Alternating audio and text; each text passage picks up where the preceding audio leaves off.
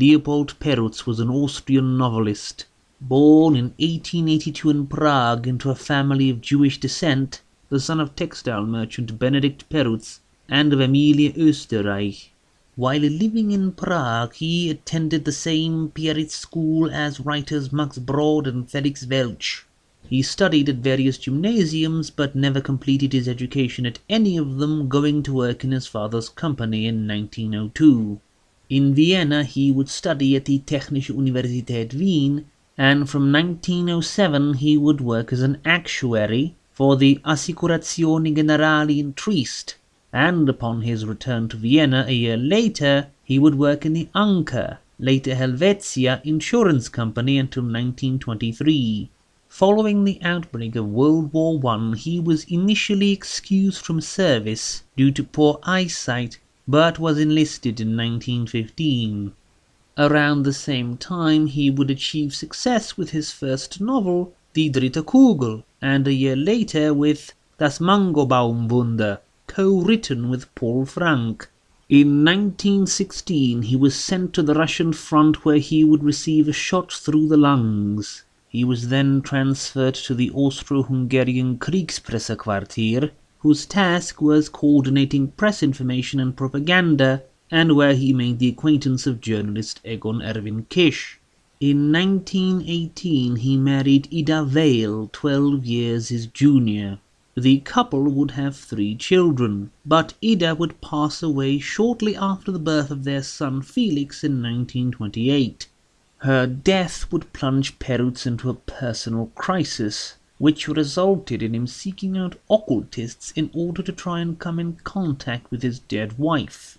Following the National Socialist takeover in Germany, Perutz lost the ability to export his books into Germany when his publisher was banned from exporting to the German market. In 1935 he married his second wife Grete Humburger. Following the annexation of Austria by Germany in 1938, Perutz would move first to Venice and then would take his family to live in Tel Aviv, partially on the insistence of his Zionist brother Hans, who had already moved his business to Tel Aviv by this time. In 1940 he accepted Palestinian citizenship and was unable to leave Israel with his family due to contemporary international issues until 1950. In 1952 he would become an Austrian citizen again and would die in 1957 at Bad Ischl. Perutz's 1923 Master of the Day of Judgment is yet another of the novels Karl Edward Wagner put on his list of best horror novels. The story begins with a certain Baron von Josch, an Austrian nobleman during the tail end of the Austro-Hungarian Empire. He is invited to a private party at the house of his friend, aged actor Eugen Bischoff. Bischoff is no longer the youngest, and hasn't much of a future in the theatre, and that's before his bank went under and lost his entire fortune along with the fortune of his wife, something the Baron and his friends try to keep from him by hiding the newspaper. During the party, the Baron spends his time being annoyed at the presence of the newcomer, engineer Solgrub, and pining for Bischoff's wife and his former lover, Dina. After some music and light entertainment, Eugen Bischoff leaves for his garden pavilion and is found shot dead in a clear case of suicide. Initially, Dina's brother accuses the Baron of having orchestrated Bischoff's suicide, but Solgrub is not convinced, especially since Bischoff had earlier mentioned how an acquaintance of his mysteriously committed suicide for no reason and when said acquaintance's brother tried to investigate, he suddenly committed suicide as well.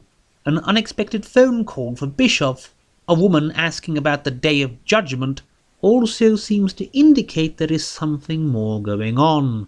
Eventually, after several more deaths and much intrigue, the blame is traced to an ancient manuscript, or rather, notes written in the margins of a Renaissance map relating to a terrible event that came to pass one night in an artist's workshop.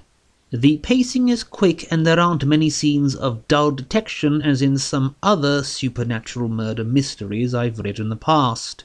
I will say the climax is a little underwhelming given the build up, and also the postscript claiming the whole story was a lie and that the Baron was definitely guilty all along, rather sours the experience a bit at the last possible moment. Still, it is worth a read.